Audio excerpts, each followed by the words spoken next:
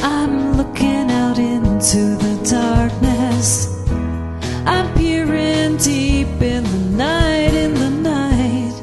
And when the birds surround me and lift me up, lift me up, and set me in flight.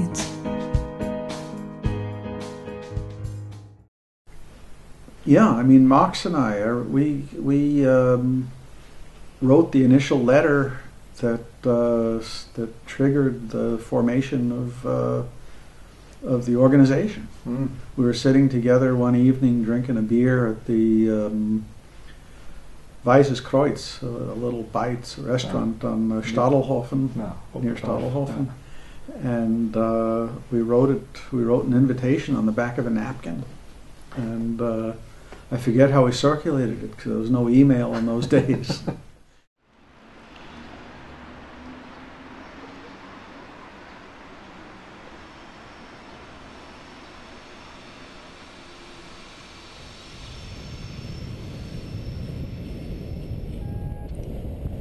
This is what Zurich looks like while soaring over the Uetliberg on the west side of the city.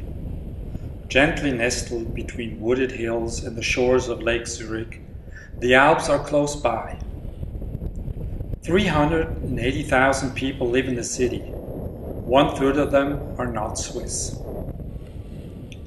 Financial services, a variety of institutions for higher education, a creative service industry, chocolate, and tourism have kept Zurich going strong. And not to forget, Zurich has always been a worldwide hotspot for psychological trends and developments. But even if today Zurich is a privileged place, 30 years ago things were much more locked in and polarized. So let's have a look at the city in the late 70s and early 80s when process work was just beginning to emerge.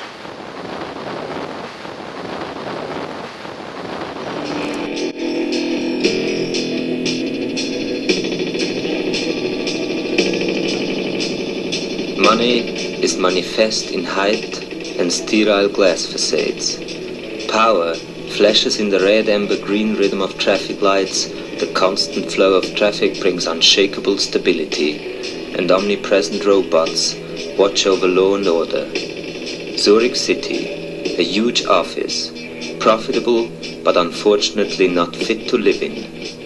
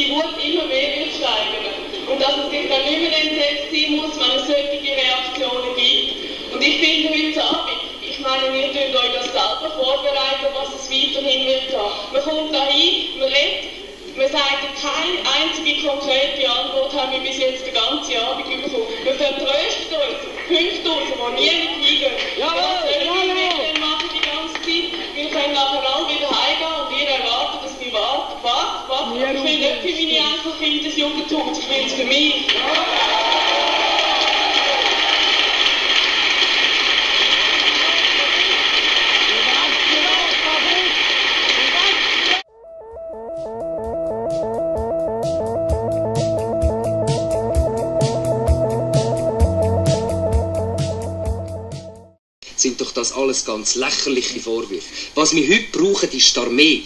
Ich kann da nur darauf plädieren, ohne Armee kommen wir dieser Jugendbewegung nicht mehr. Und dann steht morgen die Revolution vor der Tür und dann haben wir den Ja. For a long time, certain activists in the movement have been calling people to participate in fuck-ins and love-ins, without getting much of a response. However, on the 14th of June, their efforts were crowned with success. Friends hopped out of their clothes and held the shortest, the most good-humored and most widely reported demonstration that Zurich has ever seen.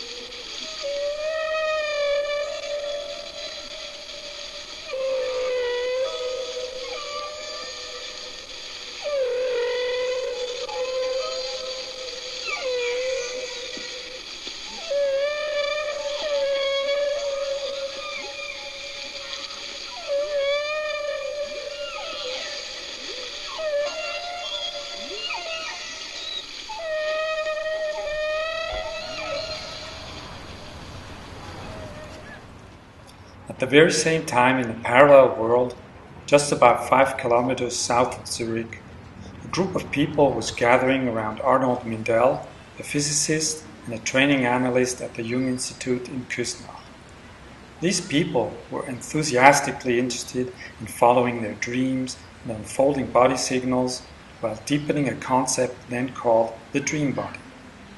Little could it be foreseen at that time that dream body work would gradually evolve into process work, a globally applied new paradigm for facilitating conflict, crisis, and change.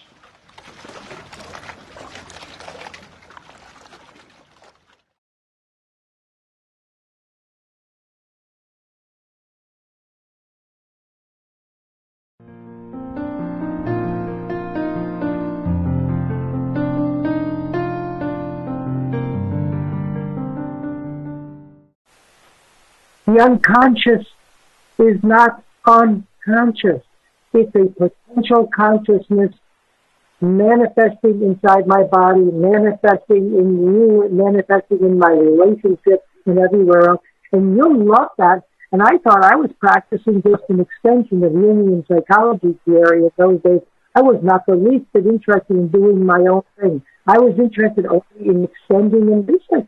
I had no edge figures at all at that time. I was just doing research, and it was so fun, and they all loved it. Um, Franz was loved it, and and all my teachers loved it. Everybody loved it until a certain moment, and then came my awakening. And the moment was when some of my colleagues began to say, Arnie, your students are coming to me and asking me to work on their bodies. They're asking me to work on their double signals in relationships. Arnie, are you practicing Jungian psychology? No, absolutely. This is following the unconscious is what Jung wanted. And they say, I'm afraid we're doing something different. And so thanks to those uh, colleagues who were over the edge for me for realizing that I was in the middle of something different, and that's how process work began.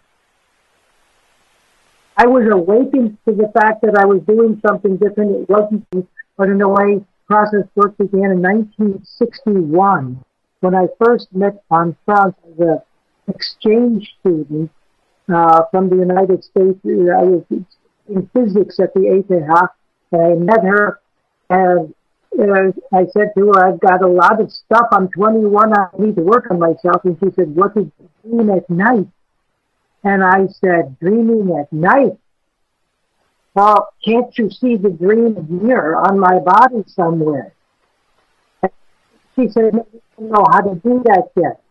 So in that moment, 1961, process work began.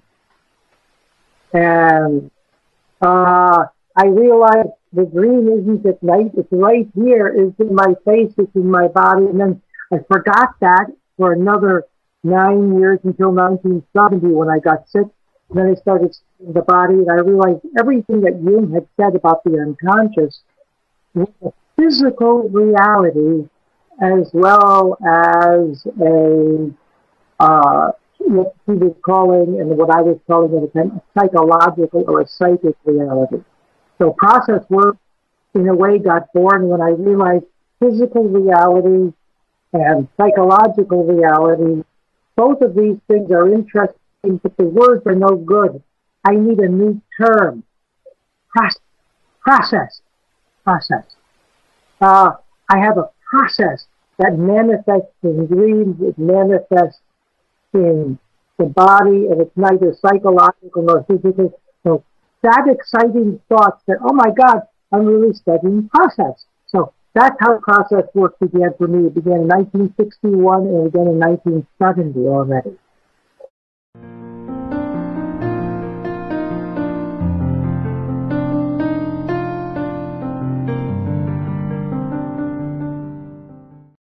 Don Juan seine, seine Vorlesung besucht. Oh, Und das ist top, äh, top neu gewesen. ja. Und äh, das ist der, der ist er auf äh, das Pult gehockt. Nein. Schon das war ungewöhnlich.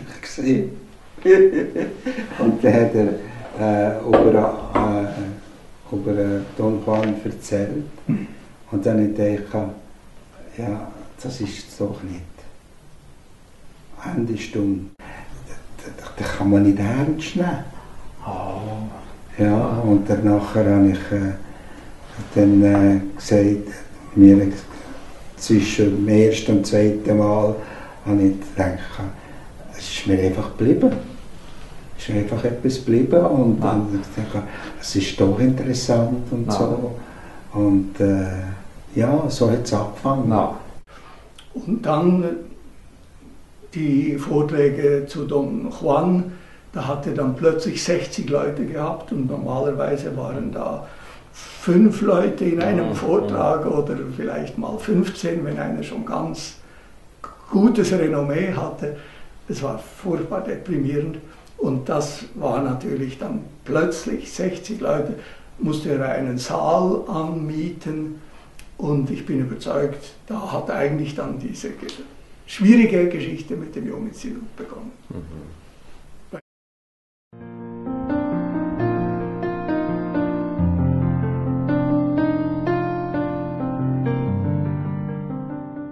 Ja, und dann hat, hat mir das sehr Spaß gemacht und dann habe ich andere Leute getroffen, die eben bei Arne auch sehr viel Freude und Spaß hatten. Und dann haben wir uns zusammengetan, haben eine Gruppe gegründet. Da waren sehr viele Amerikaner dabei.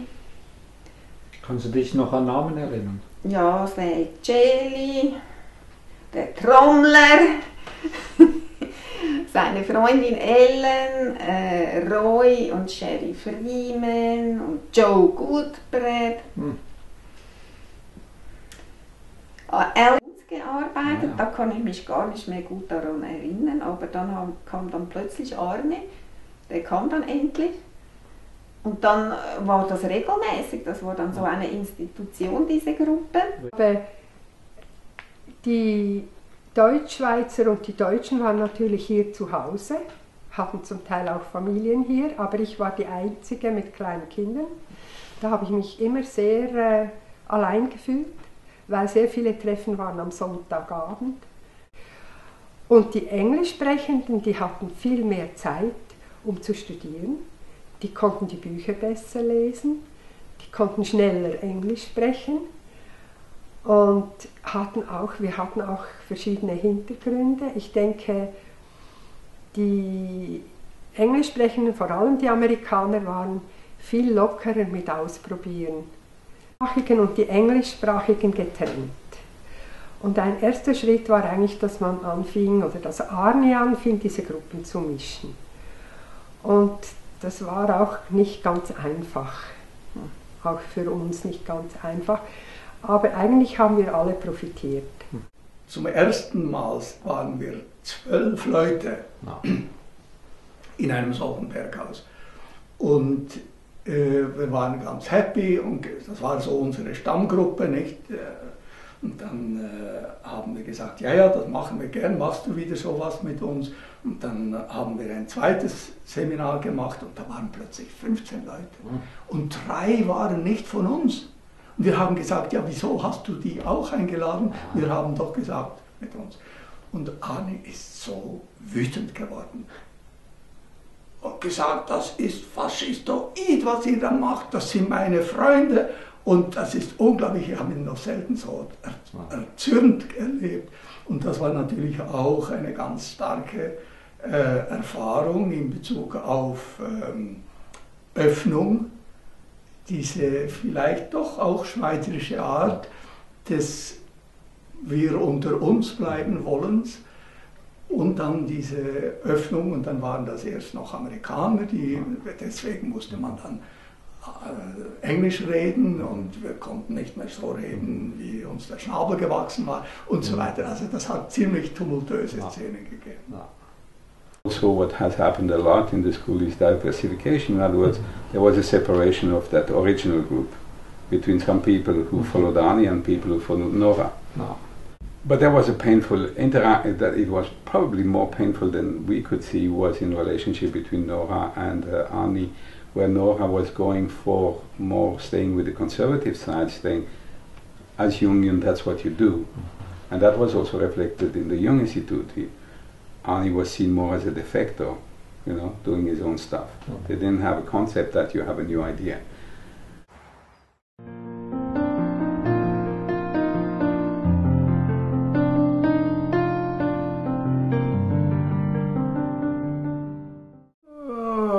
Yes and no. I, I think I didn't uh, appreciate at the time how much um, that Arnie might have been under some tension and under some duress there. I think that I, I think I was more focused on his enthusiasm for the new direction that he was going, and I didn't appreciate enough until later when it really came to an open uh, confrontation. Then I began to understand how how difficult that must have been for him. But I, pro- I remember sitting with Arnie and um, a group of us processing the different roles in relationship to the Jung Institute as we were building the school. It was in the 82, 83. Um, I think Arnie was not hiding any of those things. Quite the contrary, he was very open and talking about it and seeking uh, um, to become aware mm-hmm. by uh, w- by processing those mm-hmm. things together, using the tools that we had, using dreams, using the I Ching, using mm-hmm. everything that could be useful to pick up what we call today the dreaming, and to see how we could how we could make sense of it in the Siat. Ja. Bei den nächsten, äh, beim nächsten Treffen war dann diese ganz desaströse Erfahrung, wo er einfach Geschichten erzählt hat. Ja was? Sie berühren die Leute? Ja, das, das kommt gar nicht. Ja, ich kann Ihnen Videos zeigen oder ich habe die, die Einwilligung geholt zum, für den Körperkontakt. Ja, das interessiert uns gar nicht. Äh, Und dann, ich kann Ihnen Videos zeigen, wo das Ganze. Was? Sie, Sie, Sie haben Videoaufnahmen? Ja, ich habe eine schriftliche Genehmigung. Das interessiert uns überhaupt nicht. Also, mir kam das vor wie bei Bert Brecht, Galileo Galilei, der die Jupitermonde gezeigt hat, der Inquisition, und die wollten einfach nicht sehen. Die wollten einfach nicht durch das Teleskop schauen. I don't think they, the, I don't think the Jung Institute was interested in having a bodywork classes in there Mhm. at that time No. within their program. And I don't think those people that were interested at the time in process work or, or the dream body that Arnie had worked on in the body symptoms were all that interested in, in a more linear dream interpretation focused approach that at the time was taught at the Jung Institute. So I'm sure there were a few tremors, but I think overall it was an organic mm-hmm. growing out of another No. branch. No.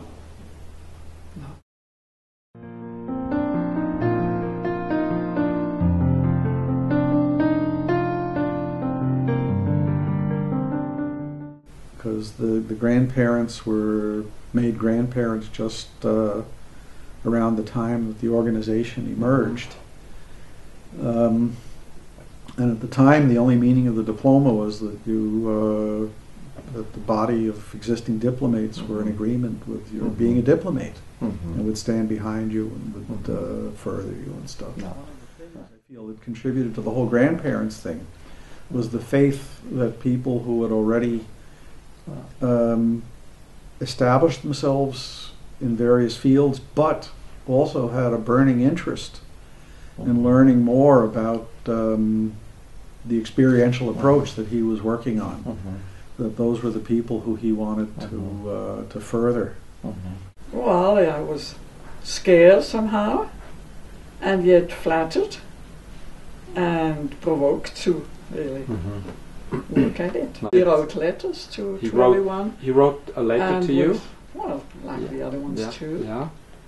And uh, the conditions Yeah. that you had to Yeah, do to yeah.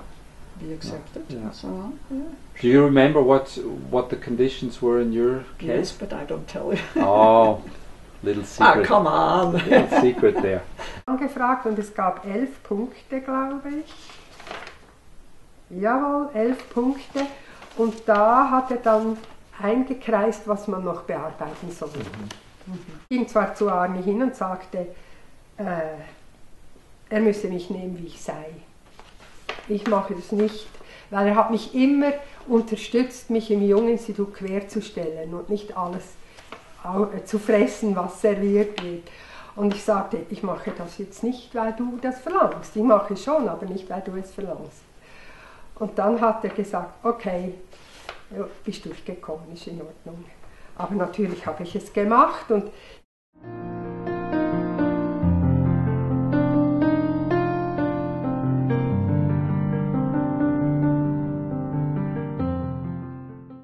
Well, it's all Dawn Menken's fault. Ben Thompson, who yeah. was a teacher for many of us, and I really loved him, and I took his class over and over again at Antioch College.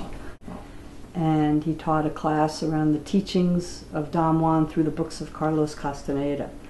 So he read Arnie's original book called The Death Walk in his class. According to Arnie, they hadn't really known each other very much, but Ben loved Arnie, and he would often sit in the class and he would read from these manuscripts, from this manuscript, and I was awed and I wonder who is this person. So I wanted to know who was the writer of these amazing, this amazing yeah. book, yeah. and uh, and Ben uh, Ben loved Arnie, even though they hadn't had much contact, but he he really revered him. So I went to Switzerland at the time I was together with Adam, yeah. and that was in 1979. 79, yeah and we came over. And I had never traveled out of the United States and I was young. I was like uh, 20 years old. And uh, I you know I thought this is a really unusual place. I came and I didn't know where to go and I was utterly dependent on anyone's goodwill. And Dawn went to Zurich and came back and said wow it was just amazing. You have to do this. And I had zero interest in psychology for or? three months, and which no. became just under 10 years. No. It was hard. it was really hard. You couldn't rent anywhere, you know, nobody would, you'd call up for an apartment no. and people would hang up the minute they heard your accent and German. Oh my God. I I I tried. I yes, it was a huge thing. I mean, in a way. Well, um, a couple of my friends, Dawn and Adam, were there before I came, I think, and they helped helped me get settled. And um, but learning German, learning a new culture, oh, it was extremely hard. Except there were so many people speaking English that made it a lot easier. First, earliest years, I cleaned houses. I cleaned houses of rich people. Yeah, and that was kind of interesting. It wasn't bad can make decent money. After a few years, we got into this teaching English, and that mm-hmm. became a real mm-hmm. great way to make money. Like I really made good money actually through the 80s teaching English. So that worked. I worked at Migros Clubschule for many years. In fact, I sometimes see like on Facebook, students from that school find me, and they and they loved me, and they I changed people's lives at the Migros Clubschule. Amy and I sang music. We played music in the streets. I could, uh, we could play. I could play music uh, twice, two evenings a week, and earn enough money for food for the week. Wow. Yeah. We scrambled. It was hard. It was also hard. We were friends, and we had fights, and we had experiences together, and um, you know, got into hot water with yeah. each other, and and uh, it was sort of living it, right? Mm eating and cooking. Cooking was cooking, cooking, food. Yeah. And then we had classes on Friday afternoons and Friday evenings mm-hmm. with Arnie, right? Um, which also was a big community experience. 20 years. It was intimidating. Intimidating. It was intimidating. It wasn't always very friendly. I felt mm-hmm. that um, I felt most people were interested in me as a client and oh, that there was competition to get me as a client. um, and there wasn't always a welcome mat out, so it, mm-hmm. from some folks who are older. Yeah. Mm-hmm. But I also understand it. They had, in retrospect, they had their friends, and you know, like I have mine. People might say. Yeah. Think back on it. Why wasn't it more difficult? Because how come we had to be the students and those teachers Yeah. would get to be the teachers? There was this big Yeah. age difference. Yeah. There was this Yeah. 15 year age difference. And at that time, I wouldn't have expected to be a teacher. I didn't feel like a teacher. I felt like a privileged student. I felt like the luckiest person in the world. I mean, I felt so lucky. I thought like, how did my, how did I get this luck? Like, how mm. did my life turn out this good that I get to be here at this time in this position? You know, and I felt very respected as a student and honored. Like, we had a lot of status, you know, as those original students.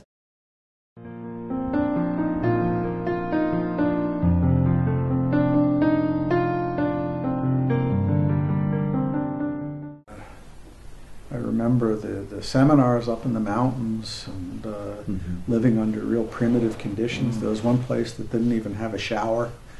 Uh, there was another place which was kind of interesting because we were all skiing during the day. Wow. There was another place that um, had like a communal shower. There was like a big hallway with showers, and everybody used to shower together there. that was it was quite a time, actually. Remember those seminars that were only 20 people? And that Arnie worked, they were like five days long, and Arnie worked with every single person. And, uh, or if there were supervision seminars, everyone was a client and everyone was a therapist. It was very intimate. Everyone was, everyone knew everyone's business. Um, It was incredible. I mean, ecstatic, right? Um, yeah, I remember like long sessions cooking together in the kitchen and singing and dancing and, and it was it was like a happening, right? I have seen a shooting star race across the sky. If it can go so far, why can't I?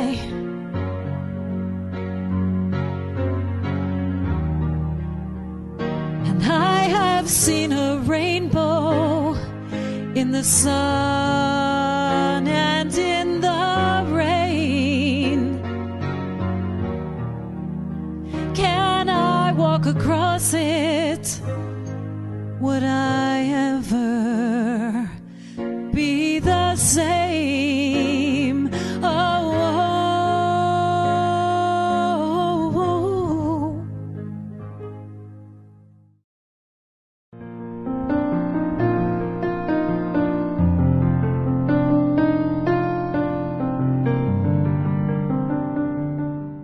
Aber Skifahren war also war vielleicht wichtiger als die Prozessarbeit.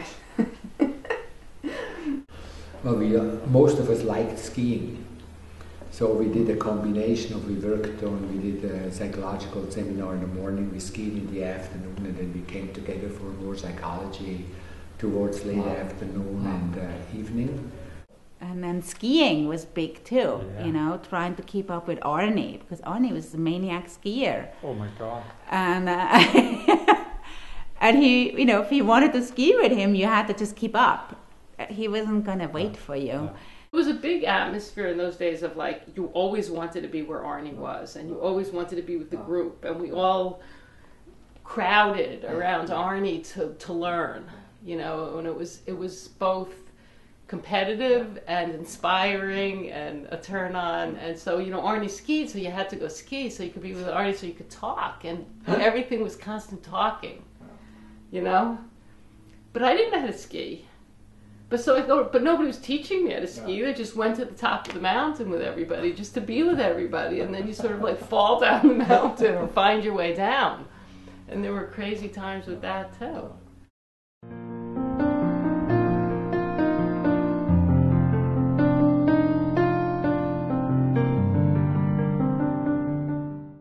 Remember when I was at the first seminar looking at Arnie working with 17 people, I was the 18th.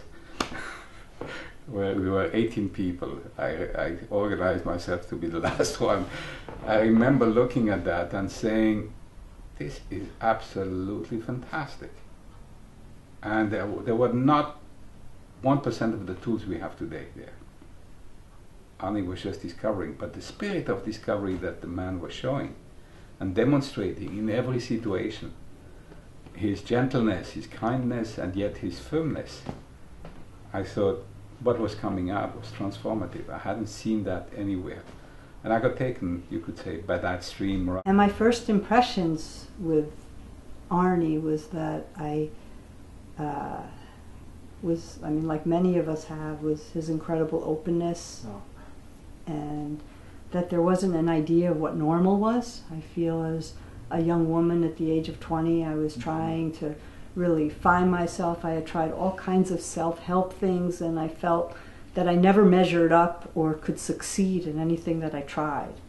Mm-hmm. And here was this man who was more validating all of my inner mm-hmm. experiences and wanting more of them. Arnie at this time was much more available, right? And uh, we all had, I mean, Arnie was our main teacher, and we had the most exposure to him. And um, I mean, the, that's one thing that I think some of our students today maybe don't have so much anymore is we had like hundreds and hundreds of uh, uh, chances to observe Arnie work in the middle, right? To be worked on ourselves, at least So, once or yeah. twice a seminar, Yeah, and um, and observe them and discuss them and and and uh, ask Arnie questions and, and studying together with him. So it was very experimental at that time, and just by sort of experiencing it over and over and over again, I think that's probably how I learned the most. A lot of it centered the very early, early days. A lot of it centered around your session with Arnie, Mm. which was sort of like the point in your week. It was like the sun that you orbited around, and I think that was just waking up, and it was it was oh, it was the learning. It was the th- it was the theories that Arnie was developing were so interesting, and we were we were his test cases. You know, we were like everything he was, every new idea he had, we were excited about. And we tried and we wanted to learn and we wanted to work and we were collaborating with this man who was so creative and so intelligent, coming up with these fascinating ideas, and we got to contribute. And it made it worth it.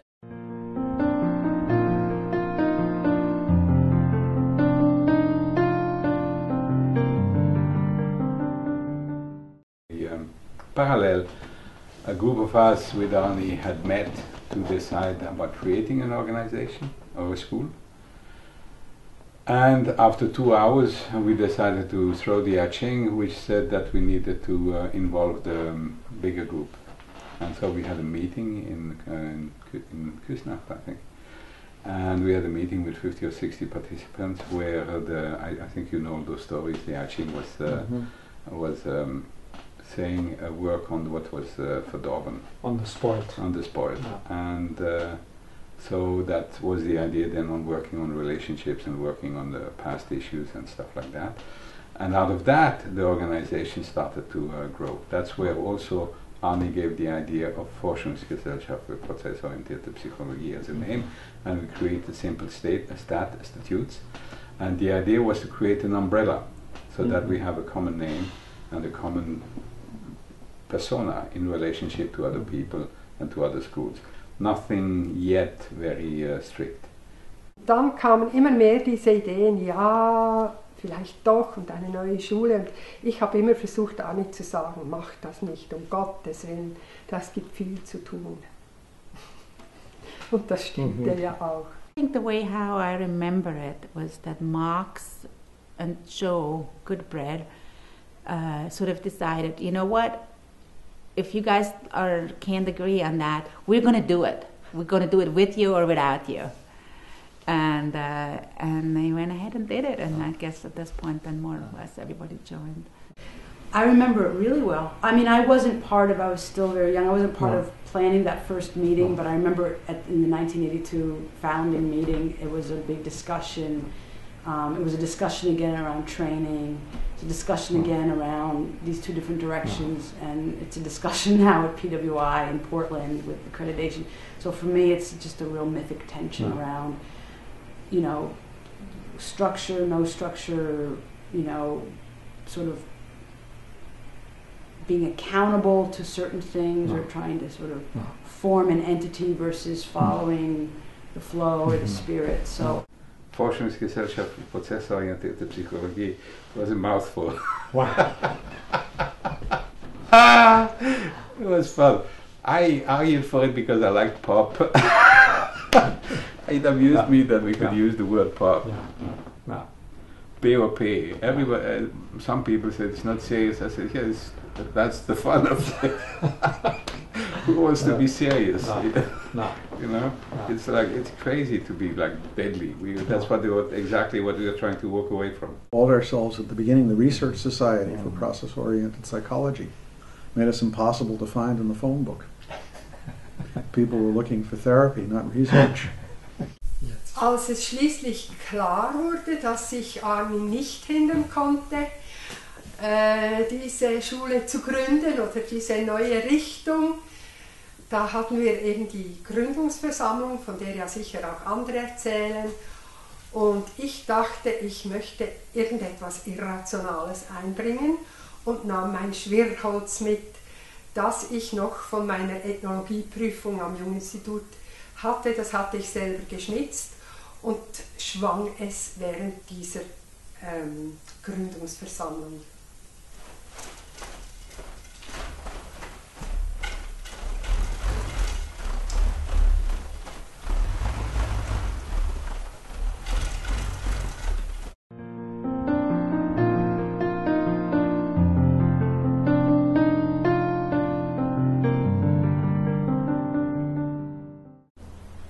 One of the, the specialties of the, uh, uh, of the then community was that the organizational form, the outer form, was in a way less important. So uh, it was a learning community to begin with, and people were interested not so much in a degree because there was no degree. So the people who studied at that time wasn't didn't people who signed up for a program with a final degree that uh, promised a professional career, so to speak. There were, it was people who were mainly interested in the learning and, and, and, and the excitement of, of starting something new together. And the creation of an organization happened sort of under the burden of the fact that more and more people studied and it sort of had become Mhm. some sort of a training program without being a program. Max und Urs darum gekümmert, dass zum Beispiel auch Ausländer in die Schweiz kommen konnten und studieren konnten. Das musste ja auch mit der Fremdenpolizei geregelt werden. At a certain point, um, organization became an issue. The, the whole thing about who had voting rights and who should be invi- invited into committees to do this and that, that became an issue. And uh, we decided to open up all committees to anybody who wanted to come. And predictably, nobody came to committee meetings except those who were really wanting to do the work. Ja, wir mussten, wir mussten Standards entwickeln, wir mussten äh, Vorprüfungen entwickeln, wir mussten Abschlussprüfungen entwickeln, wir mussten Standards für Abschlussarbeiten entwickeln. Es gab zum Beispiel sehr lange keine Fallgeschichten.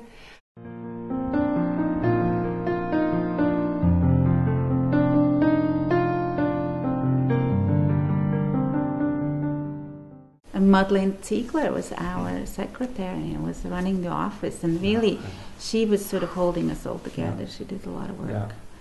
that time. And can you imagine keeping us crazy people all trying to herd us together? It was, I don't know how she did it. In the Vorstand, I was always the uh, Aktuar, which No. is, uh, I don't know, secretary and No. girl for everything. Yeah. and when things came up, they just said, well, Madeleine will do it. And, uh, Because Madeleine did it. And did it well. did it well. did it well. Yeah. I can Yeah. stand to Yeah. that, yeah. I enjoyed doing it too. It's something I, I'm, I'm good at. Yeah. Mhm. And the joy, the joy is there if you. It's uh, it's uh, nice to have a work well done, or whatever you do. Yeah. If you cook or if you Mhm. are a therapist or whatever. Yeah. Mhm. Yeah. People start to realize more and more that behind every dreamer and, and genius, there, there's somebody who do, does the uh, day-to-day work. Yeah. You know, the paperwork, Yeah. the uh, down to earth. Yeah. Yeah. Yeah. Yeah. The dreaming had a, a higher, Of course. higher rank. Of course. No. No. It has probably absolutely seen as a higher rank. Wow, who knows? I don't know.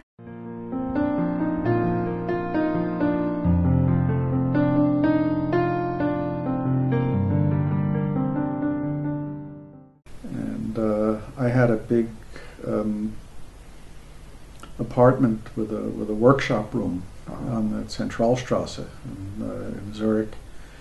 And uh, first, I used it as a machine shop to do my engineering stuff, and then I converted it into a course room. And uh, that was, in a way, that was the first uh, process work center, de facto. Wow. Well, one of the problems we had was that we didn't have a location, Mm-hmm. right? There was no classroom we could all meet, and we were like meeting in Joe's workshop or, his living room or you know pla different places. And um, yes, my parents bought a house in Wollishofen and rented it to the organization, and um, sort of gave us a place to be to be and have an office. And so a lot of people were having their private practices in there to Mhm. help to make it possible. And there was a larger room. There was an our group Yeah. room, and um, yeah.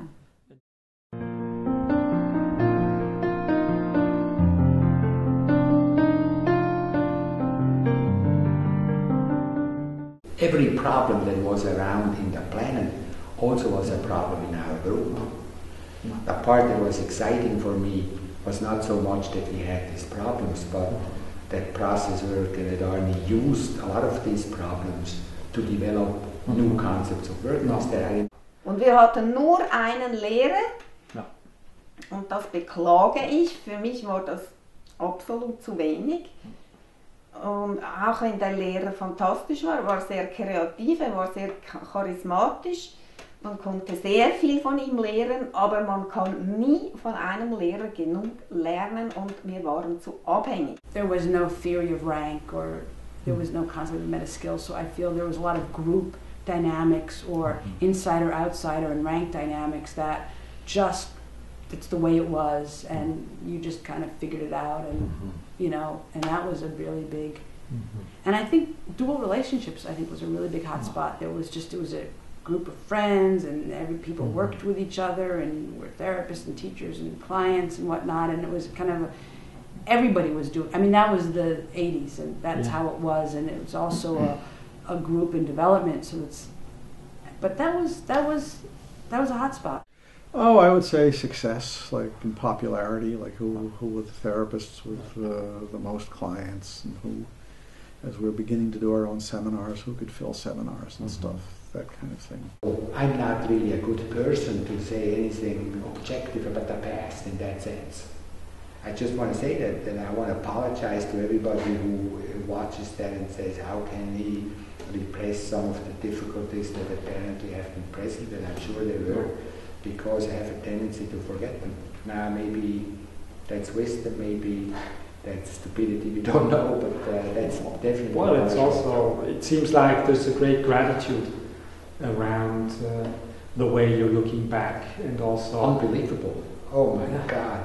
You know, I, it, I have to say that um, I feel that one of the things that process work does, in my mind, in my experience, is it supports you and helps you to be more who you are.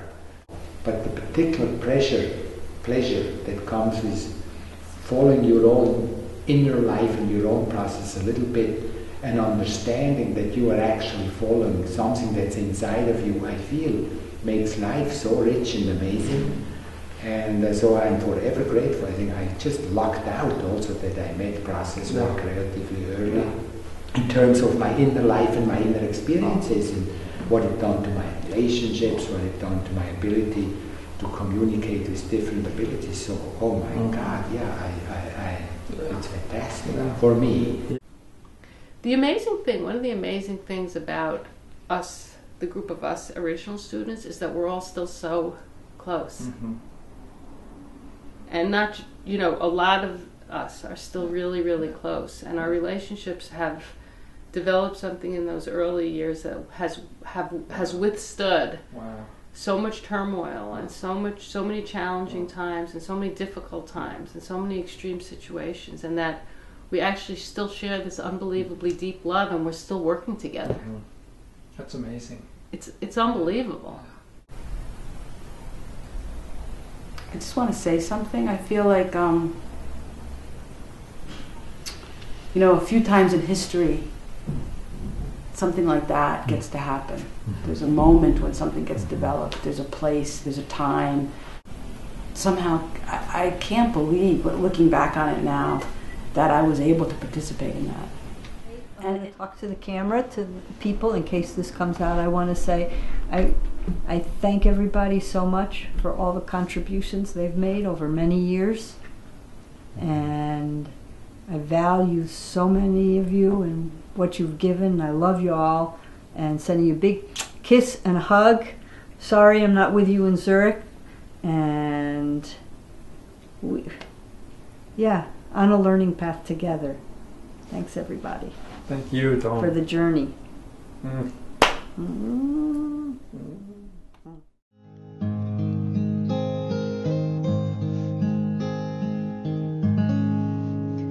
Deep in the night, when there's no place to hide, I'll find a